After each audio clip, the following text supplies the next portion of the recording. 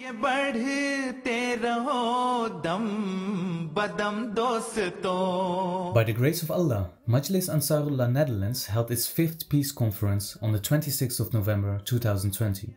This was held virtually due to the prevailing rules and safety measures adopted during Corona.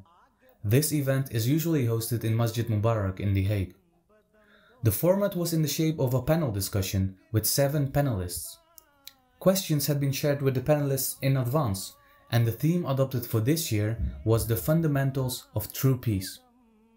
The panelists included Lord Tariq Ahmad, UK Minister of State for South Asia and the Commonwealth of Nations at the Foreign Commonwealth Development Office, Professor Ton Liefaard, Vice Dean of the Faculty of Law, full-time Professor of Children's Rights and the holder of the UNICEF Chair 2012, Mr. Karim Ahmad Khan, QC, Assistant Secretary General of the United Nations, Special Advisor and the Head of Investigative Team at the United Nations.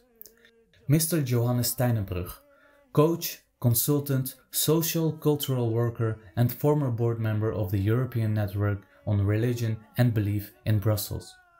The Peace Conference was hosted by National President Jamaat Netherlands, Hibbatun Noor Verhagen Sahib, and opened by Sadr Majlis Ansarullah Mirza Fakhr Ahmed Sahib. Both were also panelists. Each panelist was posed three questions, each from a multitude of topics, including civil rights and discrimination, terrorism, the refugee crisis and its impact, income quality, and what they would do for peace if they were king for one day. The event was broadcasted on YouTube and Facebook and was attended by 497 people. Approximately 40,000 people were reached through a social media advertisement campaign on Facebook. Reactions from guests who joined has been overwhelmingly positive. Guests joined globally from the USA, Canada, UK, the Netherlands, Germany and Asia. Alhamdulillah, this fifth peace conference of Majlis Ansarullah Netherlands was successfully concluded on the 26th of November 2020, ending with silent prayers. This report has been brought to you by MTA Netherlands.